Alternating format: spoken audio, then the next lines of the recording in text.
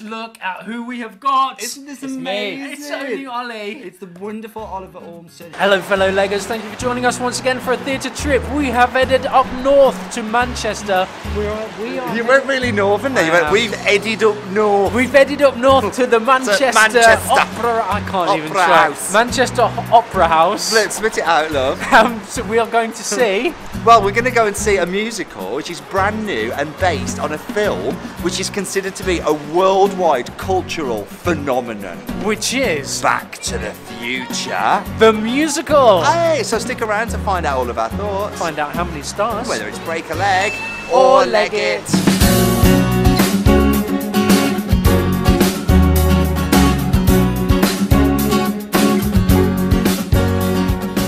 Beautiful Stop. up here in Manchester. Stop. Okay. Alexa, what's your favourite movie? I mean, even the internet knows, right? Because Alexa is literally the internet. Um, if for Alexa's those of you who don't musical, have Alexa, what happened right there? yeah, le- well, Back to the Future was mentioned, right? Okay. Because it's considered to be perfect, it's iconic, and as it's, I mean, I love. It's my favourite movie. Okay. And do you know when a movie is going to be turned into a stage musical or a stage show? we start to worry. the stakes are We start to really worry. high, and I am. I, you know what? I'm optimistic. Is what I am. It's a brand new musical premiering here in Manchester. Now it's based on the 1985 movie of the same name, which was actually the first part in a trilogy. The film was directed by Robert Zemeckis and starred Michael J. Fox and Christopher Lloyd, and is now considered to be one of the most perfect movies ever made. it's a great film. It's a great trilogy. I mean, it to is. fair. It, upon its release, it grossed almost $400 million worldwide and has gone on to have even further success with, do you know what, cartoon spin off, video games, and now a stage A- a musical. musical, And okay. this musical adaptation has been many, many years in the making. It was originally slated to make its premiere in London back in 2015 to Okay. celebrate the 30th anniversary of the movie. Which would have been great. It would have been. I mean, it's talk been about a ti- yeah. Now talk about a sort of. It's had a bit of a, a staggered approach to the stage. A bit of a rocky approach. Up until that point, A-list director Jamie Lloyd was attached to direct the show, but he left the project in 2016, citing creative differences. Read what you will into that below. Sounds if there's a story there. it does. Mm, yeah. Don't know But if we we're privy to that information. Following his departure, the production was pushed back and further issues ensued, meaning the show didn't premiere until 2020, February, right here in Manchester, where we are now. Right now, right here. Now, Okay. for those of you who don't know the story, where the hell have you been? It's one of the greatest movies ever made. Um, it follows the um, it follows teenager Marty McFly, who's accidentally sent back to 1955 by zany scientist Doc Brown, where he meets his future parents and causes a potential paradox that could erase Marty from time itself. Dun, dun, dun. Stakes are high, guys. Okay. Director John Rando is now leading this, um, leading us back to good old 1955, and his other credits include Broadway productions of On the Town, The Wedding Singer, and he picked up a Tony Award for Best Direction of a Musical for the Broadway version of Urinetown in 2002. Okay, so good potential there. Now, in the film itself, if you know, there are several songs featured, including The Power of Love, Huey Lewis and the News, Earth Angel, and Johnny B Goode, which have been retained for the stage show, but there's been additional numbers added by the original film composer, Alan Silvestri. No way, what a legend. I know, in a, Okay. a- alongside um, lyricist Glen Ballard. Glen Ballard is best known in theatrical circles as co-writer for the music and lyrics for Ghost, the musical. Okay. Now, a great cast has been assembled for this fellow. It goes on and on. What more information can you give us? Including Broadway legend Roger Bart. Now, Roger Bart is playing Dr. Emmett Brown here, but he's also a Tony Award winner who boasts such credits as Snoopy in You're a Good Man, Charlie Brown, Okay. for which he won his, uh, his Tony Award. He's the original Carmen Ghia in the cast of The Producers, Great. and he originated the role of Dr. Frederick Frankenstein in Mel Brooks' Young Frankenstein. Now, geeky fact here, he's also the singing voice of young Hercules in the 1997 Disney film Hercules. really? So you know, I will There you go, my Leggers. I will go the I can go the distance. distance. That's, That's him. him. Okay. It's him. Playing Well, I never. Marty McFly in this is the gorgeous Ollie Dobson.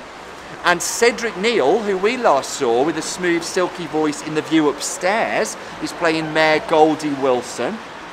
In the ensemble is our lovely friend, fellow legger, Oliver Ormson. who uh, we've had a chat with earlier and we've had, had a bit of a quiz with, so stick around to the very end of Yeah. this review to watch that. and find out what his journey was with this show because he's been with this show for several years now. It's been, been a a, long time coming. Yeah, it really absolutely. has. Run time, shall we say, about two hours forty-five at the moment, but it's still, in previews. We're on about preview number 11, I think. Yeah, so that potentially might change, but stick around for a 30 second interval breakdown. And as usual, fellow leggers, to the end to hear all of our thoughts and find out how many stars.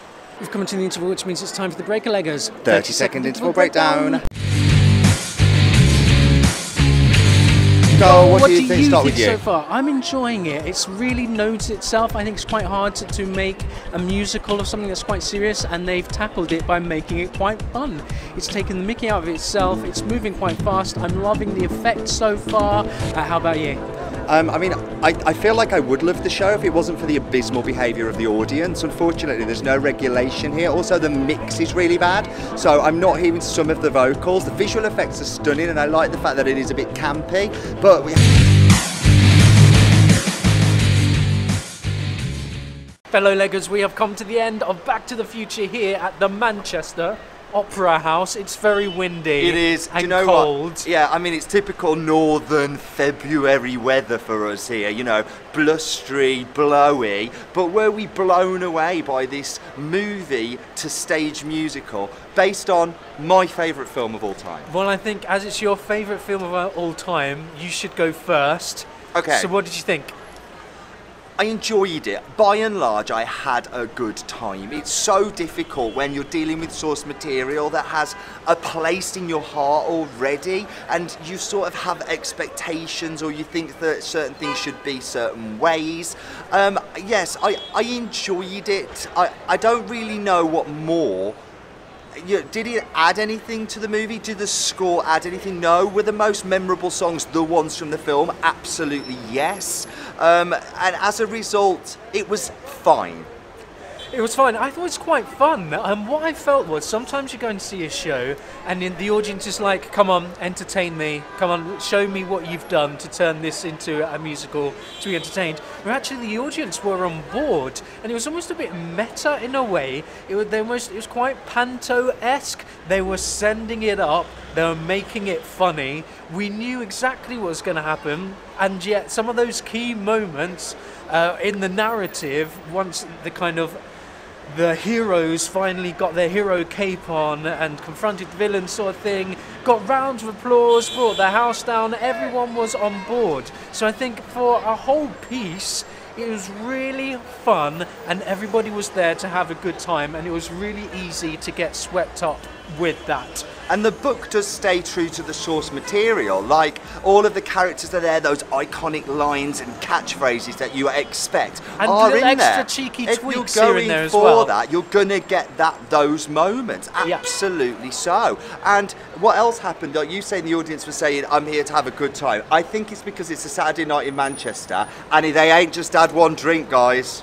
well i I think we need to say when you're coming to see Back to the Future, is it you're not in Kansas anymore? Is that the saying? you ain't I in Theatreland anymore. We weren't at the Almeida anymore. Correct. There's something about the Almeida Theatre. We always mention this. Come 7:30, curtain up, everyone is silent. Even before curtain up, it comes to 7:30, everyone goes silent and wait in Silent, anticipation. Everyone's on their best of- behaviour. Yeah. I think people coming to see Back to the Future, it's a commercial show. It's yeah. going to attract, gonna attract commercial fans, audience. fans audience. of the film. And unfortunately, there was really poor theatre etiquette. Yeah, a- so bear that in mind, uh, fellow abysmal. leggers. Do you know what? If you can't beat them, join them. Get off your trolley and then come and see this because um, most of the other people are, especially on a Saturday night. I. I was frustrated, distracted, and I would say I can only really review 80% of this show because the other 20% was just complete and utter lack of respect for other people by the audience. I think you've, a certain amount of it I've got to put down to the ushers as well. There are blatant phones out and recording of many segments of the show. Yeah. Didn't see one usher. No, didn't see didn't, one thing. couldn't care anyway, less at the Manchester. But that was Opera our theatre experience Yeah. here, so I guess we comment briefly on it. Yeah. Um, so let's also talk about the music. They have Yeah. complete ownership and rights to the complete soundtrack. The score. So the score, even the little incidental moments Yes, that underplay key lines, it's all in there. And it's like, yes, we're here and it's live. And it's, it's it and really that drives is- the narrative. that is the biggest thrill for me. Hearing that that superb, sumptuous, one of the most iconic and best theatre scores of all time, played live by a full band, is undoubtedly an absolute thrill. It's not a question. It is an absolute joy.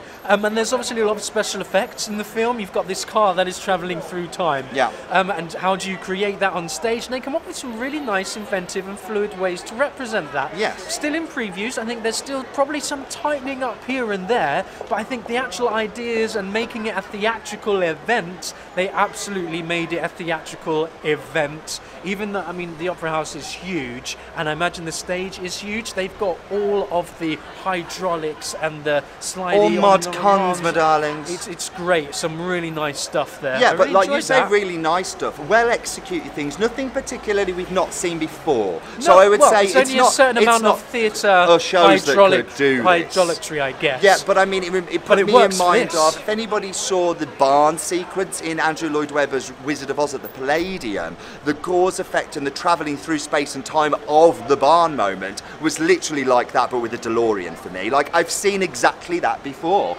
but it was done spectacularly then, and it was done spectacularly here. Yes, it may not be something, maybe something you've seen before, but I still think not. it works. Yeah. absolutely. And I've not seen that before, so really nice stuff going on there. Interesting. So I think we need to move on. We've talked about some of the creatives. I mean, Got to give it to a director being on board for this and just having the balls to say we're going to make this happen, guys. Like I almost feel it would it would be a one of those moments where they say it's all it's you know even if it doesn't work, we're going to throw everything at it because the risk is high. Okay. And I admire the Make it director. sparkle, yeah, I admire the director for pulling this all together. I'm looking Yeah. for who the hell the director is right now, and I know we mentioned it at the beginning, but I can't bloody find somewhere. him. Do some vamping. um, should we talk about the cast? No, then? we're There's talking about the director cast going still. on. Um, you can find the director. Yeah. The cast are busy. doing John Rando. stuff. They are. John Rando, really Yeah. good, nice stuff Yeah. going on. Some really nice choreography. The company are singers and they have to move as well. And I thought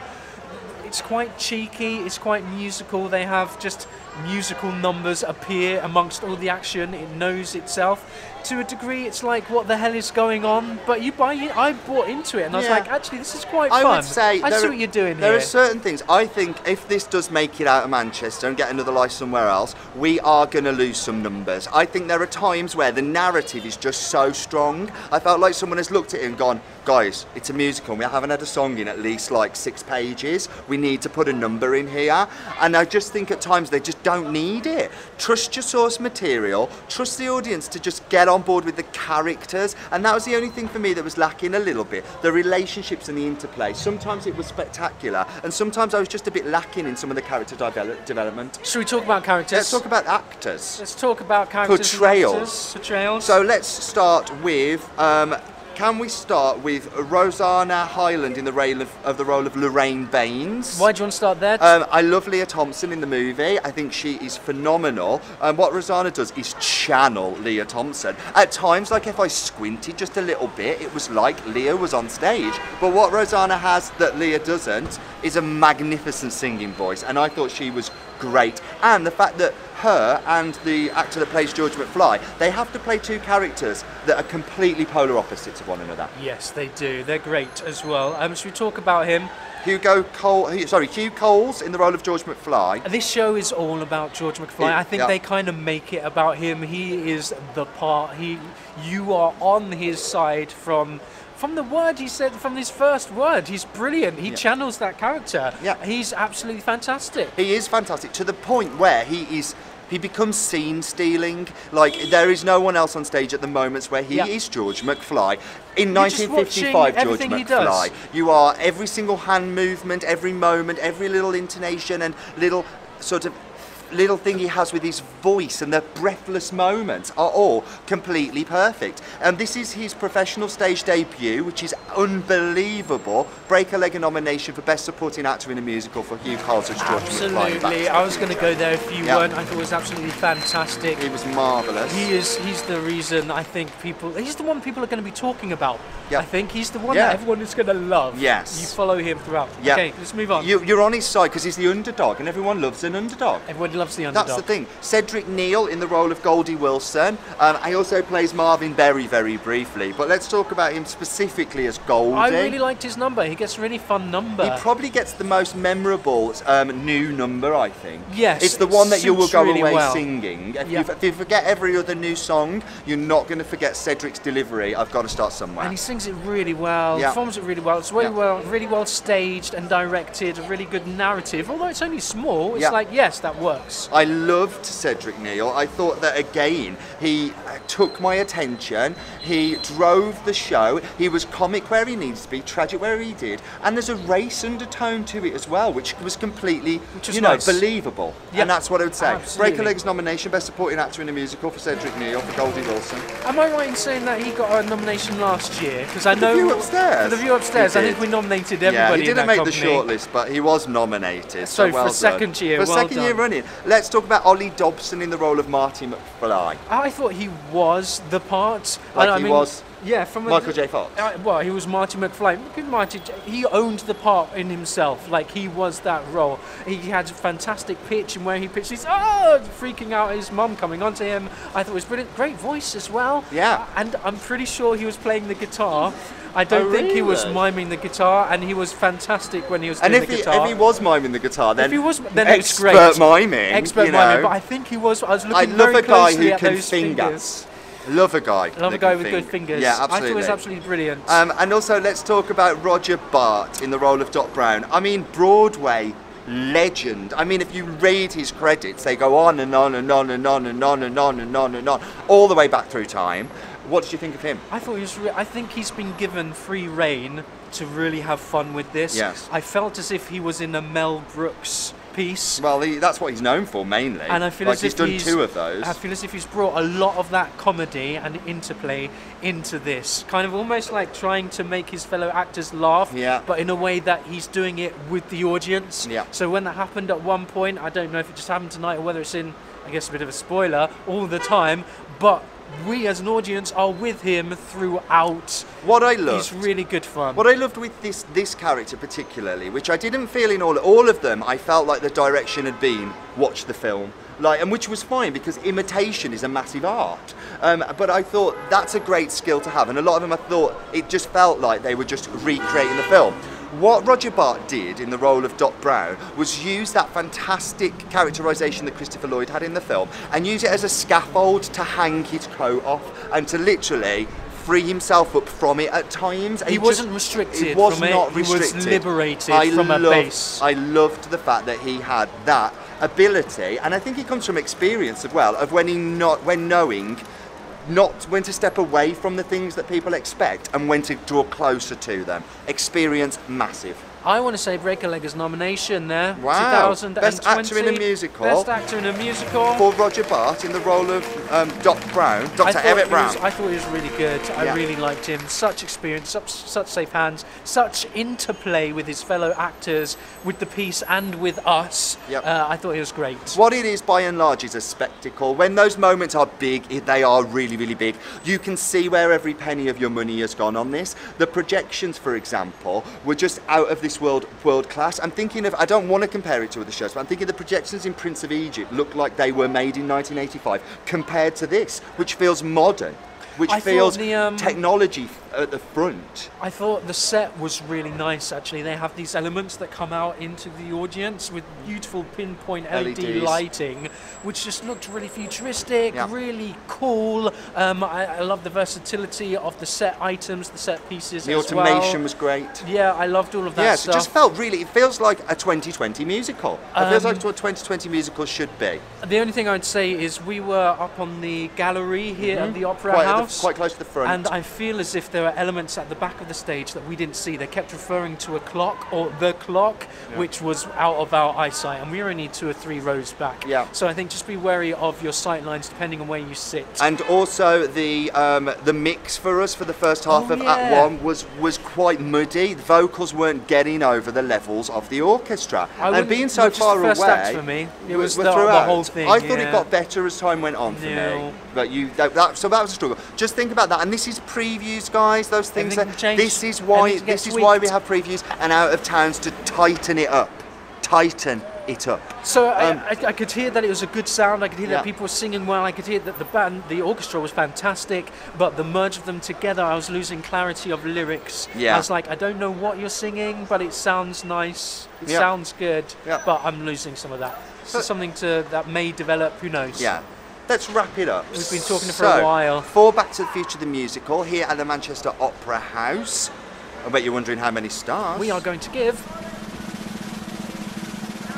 four. four stars for the space. Like it's really enjoyable, guys. I mean, there are moments where I felt that pacing was an issue, and this is in previews. There are a couple of numbers which I think are superfluous. I think when they get taken out, pacing gets tightened up, those sound level mixes get fixed. What this is going to be is a really accessible, enjoyable show. Um, accessibility comes with its own set of problems. It's going to attract people to the audi- to the theatre that don't know how to go to the theatre. And I'm calling out to you, ushers, front of house staff out there, to educate these people. Please, I don't want to have to do it all the time. Um, it's up to you.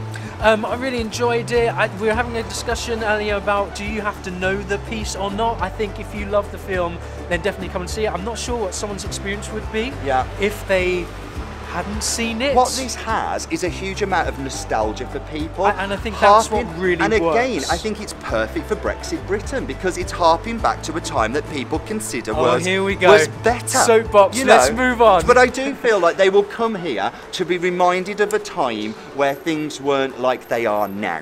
Anyway, that's just what Lego Simon thinks. what I think. And totally just what I That's just think. what he thinks. Come and see it for yourself. And let us know what you think. Comment let us down know below. down below. Like, dislike, do something, don't be nothing, subscribe. We're the Breaker Leggers. and we'll catch you again soon. Bye. Look at who we have got. Isn't this It's me. amazing? It's only Ollie. It's the wonderful Oliver Ormson, who we last saw in Cats at Kilworth House. Um, It's but been busy saw- for you. You've been busy I've been recently. very busy this year, actually. Like it's as actors, sometimes we go like this, peaks and troughs. But yeah, 2019 was pretty busy. You've had a great year, and now you are in Back to the, Future, the musical, which Yeah. is a world premiere here in Manchester. Very lucky. Surely, like when you're telling the grandkids where you've been, this is going to be one of the highlights, right? Oh my god, yeah. I'm, as soon as it got offered to me, I was like, I have to do that. Regardless, I could be like the tree at the back or you know wherever. I was like, I have to be part of this show because it means so much to so many people. And you've been with the show for quite a while. So 2018. what's your journey been Right. like? Talk us through Who's ready journey. for this journey? Okay. We're ready. We're Sit ready. down. Down, yourselves get a cup of tea. Yeah. Just Fasten pause it. seatbelts. I don't- Okay, here we go. So 2018, I auditioned uh, for the workshop, just a generic audition, and I got asked to be part of it, just ensemble, and I think they were thinking like cover Biff maybe. So that was 2018 in August, and we did a three week, three week workshop in the Dominion upstairs, and then after we finished that, we well we invited loads of like producers and stuff, and they were like, yeah, this could work, and it was like the bare bones of what we have now. Mm-hmm. Then in November 2018, I did another workshop with more. Mu- we had like more music, more songs. Like the ideas they had in August afterwards, like from the feedback, they were like, "We need this song to be better," or "That song needs to change." Then I did another workshop, January 2019, um, and that was again another three-week workshop, and we did a performance at the end. So every time it was getting better and better and better. And then 2000, uh, yeah, 2019 in the summer when I was doing Cats, there was another workshop, and I auditioned for it Yeah. and well, it was like they said to me, "You have to come in because before that time there was no choreographer on the project, and they're like, you'll have to come and dance for the, the choreographer." And this was like April. This is just before Cats. But I was like, I can't do the summer workshop because I'm doing Cats at Kilworth. Sure. And they were like, "Well, just come in and dance and see what happens." And I came and danced, and that was it. I didn't hear anything. So I thought, I've done. I've- I- I've fudged it up. It's not I've gonna go I've any done, I've done three workshops to be a part of this, and that's it. Great. Like, and I didn't hear it. So that was April.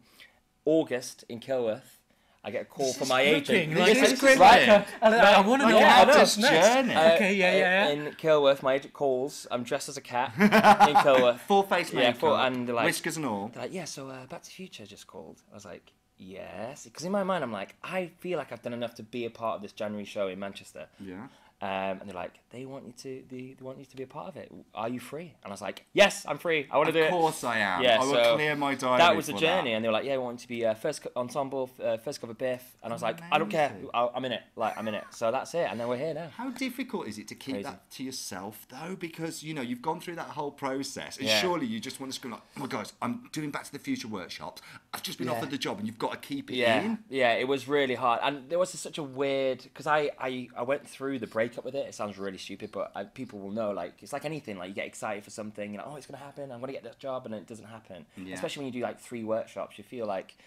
Like you know, no one's ever obliged to be a part of a job, or not. You shouldn't ever feel like I, I deserve something. But I did sort of feel that. You was like- worked hard, Yeah, it's like you know, because the best thing about being in workshops, and when you see the show tonight, uh, you'll notice. Well, not notice, but there are things in the show that are, f- are from me, Mm. which is the best thing in the world. Get So- creative input. yeah, and like that's the it's, dream. it's amazing. So when when I felt like I missed the boat, and I was actually doing cats, which was great. But when they called and said, "Yeah, we actually want you to be a part of the, you know, the January show," I was like, "I'm in."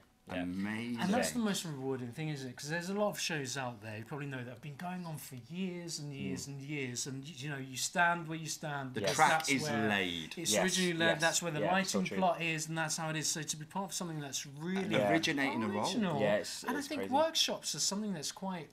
I don't know. It may just be me, but it feels quite new to the UK. They've been happening in Yeah. the US for a long time. Any show Yeah. in the Gets US workshopped gets death. workshopped, but that hasn't always been the case over here. Yeah. But that seems to be happening more and more often. Yeah, and it is the correct thing to do. Like I, any new show, I, like any good new show would probably have gone through three or four workshops. of It's just such like, a risk just putting it yeah, out there. Yeah, it has to. It has to because I, I think back to what Back to the Future was in 2018 to what it is now.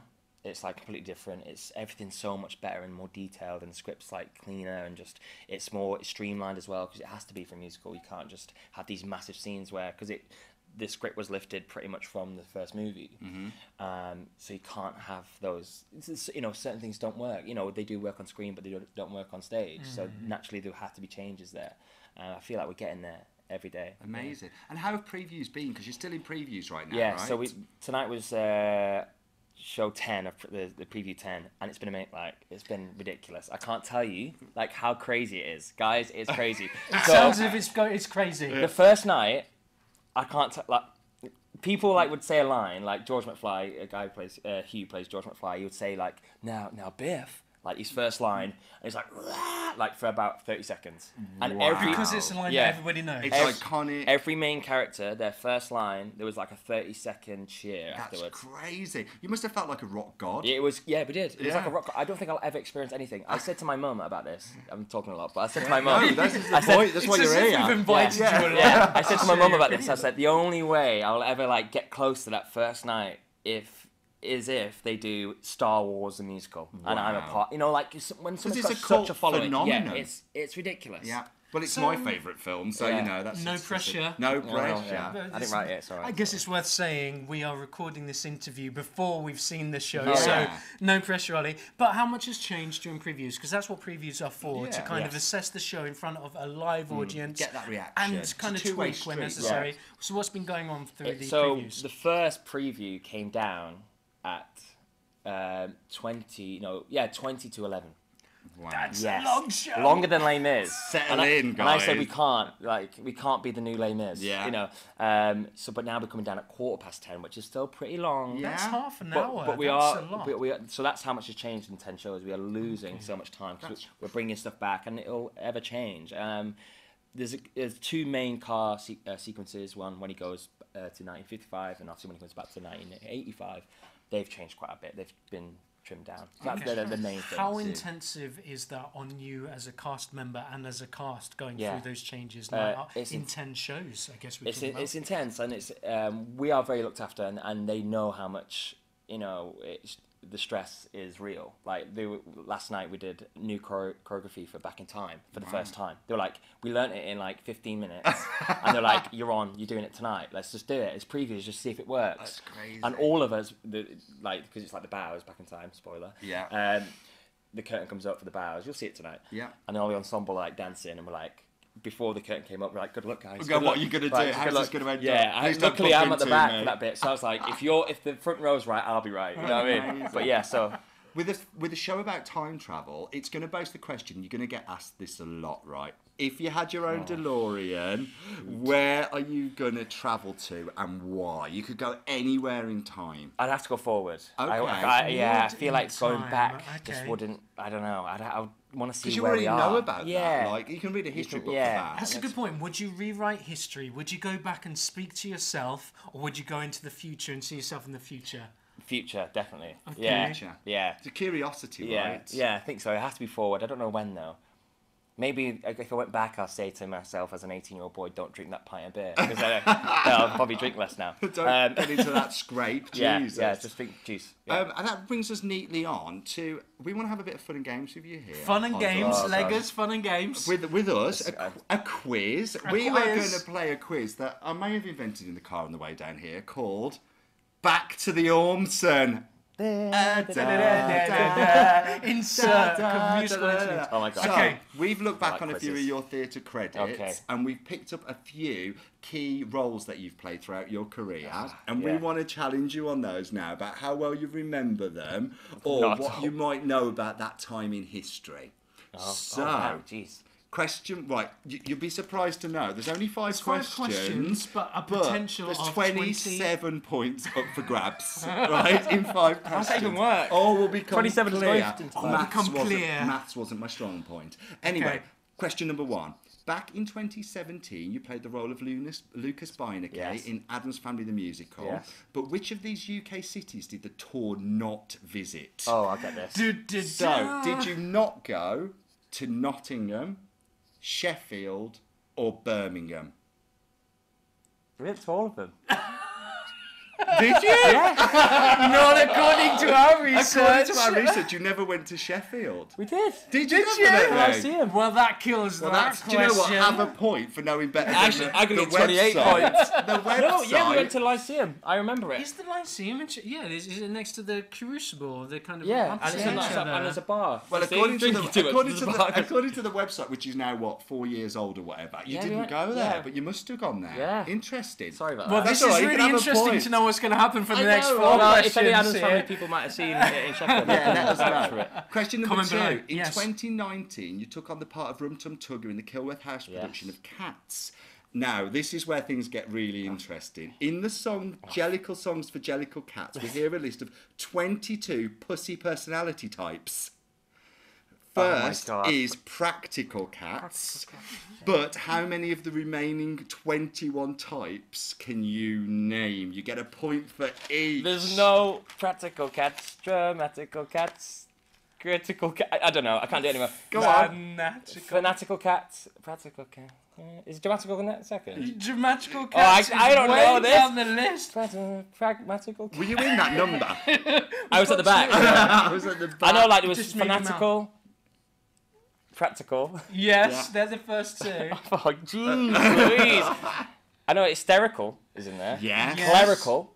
Clerical, yes. There's one I could never pronounce, like allegorical. Allegorical Yes. cats is in Yeah, You there. allegor- well. It's yeah, like an English allegorical. Um, uh, clinical.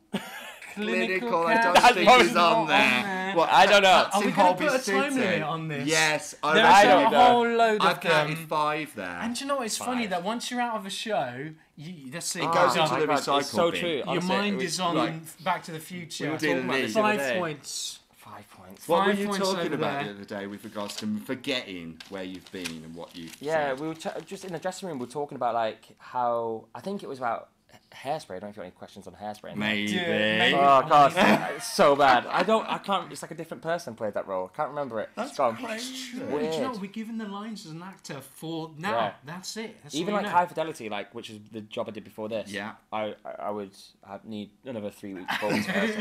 Question Okay. three. In 2015, you joined the cast of West End production of Book of Mormon, Yeah. a show which shares the history of that religion through the number All American Prophet.